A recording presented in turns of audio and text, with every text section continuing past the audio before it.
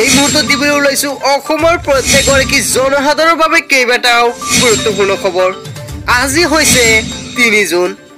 আজিৰ দিনত অসমৰ লগতে ভাৰতবৰ্ষৰ বিভিন্ন প্ৰান্তৰ পৰা কেইবাটাও গুৰুত্বপূৰ্ণ খবৰ যুগুত কৰা হৈছে। এই মুহূৰ্তত জনাই আছো আমাৰ প্ৰথমটো খুবেই গুৰুত্বপূৰ্ণ খবৰ।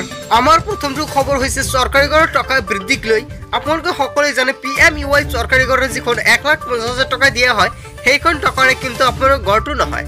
তাৰ কাৰণে চৰকাৰে কিমান টকা চৰকাৰী ঘৰৰ বৃদ্ধি কৰিলে আৰু আপুনি কিমান টকাকৈ লাভ কৰিব আপোনালোকে সকলোৱে জানে। মই আগতে এটা ভিডিঅ' বনাইছিলোঁ। আগষ্ট মাহৰ পৰা সকলোৰে বেংক একাউণ্টত চৰকাৰী ঘৰৰ টকা সোমাবলৈ আৰম্ভ হ'ব। চ' ডেৰ বেয়াৰ্ছ যদি আপুনি সেইখন ভিডিঅ'টো চোৱা নাই অতি শীঘ্ৰে চাই ল'ব তাৰপিছত ইয়াতে কোৱা আছে P M U I C Assam দুহেজাৰ তেইছ। এতিয়া চাওক ইয়াতে চৰকাৰী ঘৰৰ তৰফৰ পৰা কি এটা আপডেট আহিছে যিটো আপডেটটো আপোনালোকক প্ৰথমে দেখাবলৈ যত্ন কৰিম সম্পূৰ্ণকৈ শেষলৈকে চাই থাকিব।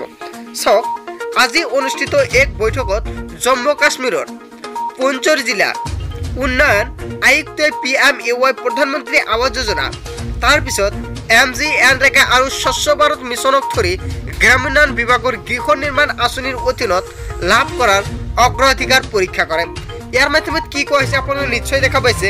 এটা বৈঠকত কিন্তু আলোচনা কৰা হৈছে আৰু কোন কোন বিষয়ত আলোচনা কৰা হৈছে প্ৰধানমন্ত্ৰী আৱাস যোজনা তাৰপিছত এম জি এন ৰেগা অথবা জব কাৰ্ডৰ বিষয়ত আৰু তাৰ লগতে আপোনালোকে স্বচ্ছ ভাৰত মিছনকে ধৰি ইয়াতে কিন্তু তিনিটা বস্তু আলোচনা কৰা হৈছে। ইয়াতে চাওক কি কোৱা হৈছে। বৈঠকত সময়তে ৰূপায়ণ আৰু অনুকূল ফলাফল নিশ্চিত কৰাৰ প্ৰচেষ্টাৰে সংযোগ স্থলৰ পৰা গুৰুত্ব আৰোপ কৰা হৈছে। তাৰপিছত ইয়াতে ডি ডি চিয়ে বিভাগীয় বিষয়াসকলক সময়তে পৰিকল্পনা দাখিল কৰিবলৈ আৰু অগ্ৰাধিকাৰ ভিত্তিত ব্যক্তি দিন বৃদ্ধি কৰিবলৈ নিৰ্দেশ দিয়ে। আৰু তেওঁ আৰু কয় যে সময়তে মজুৰি দিয়াৰ সুনিশ্চিত কৰাৰ লগতে দৈনিক মজুৰিৰ সুবিধা ইয়াতে আপোনালোকৰ কোৱা হৈছে নিশ্চয় আপোনালোক সম্পৰ্কে জনাম যিখন আপোনালোকৰ চৰকাৰী ঘৰৰ কাম কৰে যিসকল ব্যক্তিয়ে আৰু সেইসকল ব্যক্তিৰ কাৰণে কিন্তু এখন খুবেই একটা ডাঙৰ ঘোষণা আহি গৈছে। ইয়াতে সৰ্বাধিক সংখ্যাক লোকসকলৈ বৃদ্ধি কৰিবলৈ কয়।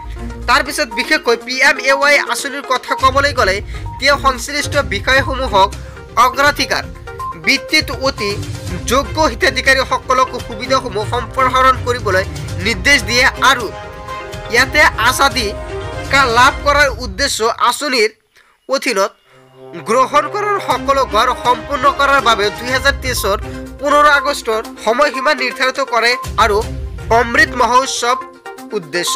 ইয়াত আপোনালোকে নিশ্চয় পৰা সম্পূৰ্ণকৈ দেখা পালে ইয়াতে দুহেজাৰ তেইছ পোন্ধৰ আগষ্টত কিন্তু সকলোৰে বেংক একাউণ্টত চৰকাৰী ঘৰত টকা সোমাই যাব। যদি আপোনালোকৰ চৰকাৰী ঘৰৰ লিষ্টত নাম অন্তৰ্ভুক্ত হৈছে তেন্তে কিন্তু আপোনালোকৰ চাৰিটা পাঁচটামান কাম কৰিব লাগিব। কি কি কাম কৰিব লাগিব নিশ্চয় আপুনি কমেণ্ট কৰিব কিয়নো যাতে আপোনালোকৰ চৰকাৰে যেতিয়া একাউণ্টত টকা সোমাই দিব যাতে ডাইৰেক্ট সোমাই যায় আপোনালোকৰ দ্বাৰা অসুবিধা নহয় টকাটো পোৱাৰ কাৰণে। তাৰ কাৰণে আপোনালোকে অতি শীঘ্ৰে এইকেইটামান কাম কৰি ল'ব। কি কি কাম কৰিব নিশ্চয় যদি আপুনি কমেণ্ট কৰে নেক্সট ভিডিঅ'ত দেখাম। চ' বিয়াৰ আজিৰ মূল ভিডিঅ'খনত আপোনালোকক এইখিনি সৰু এটা ইনফৰমেশ্যন দিবলগীয়া আছিলে। ভিডিঅ'টো ভিডিওটি ভালো লাগলে লাইক কমেন্ট শেয়ার করে সব থাকবে উপর ওয়াচিং ফুল ভিডিও